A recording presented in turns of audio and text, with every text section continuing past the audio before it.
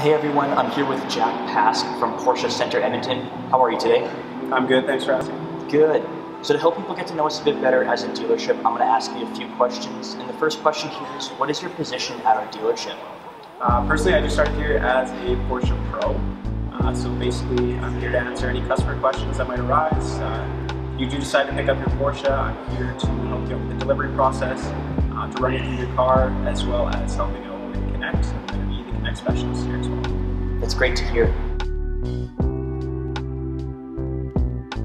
I do actually. I have a, a great memory of a family vacation in Kelowna. Uh, one of our good family friends actually had a 996 911. Uh, I was fortunate enough that she took us, me and my brothers, around for a drive in the hills of Kelowna and got to really experience Porsche. It's definitely very memorable for me. That's amazing. Well, that's the last question I had for you, Jack. Is there anything you want to say to the viewers watching? Uh, nothing else really. Just if you do have any questions, if uh, you want to get in touch with me, my contact information is just below the video. Awesome. Well, thanks for your time, Jack. I'll let you be. Thanks.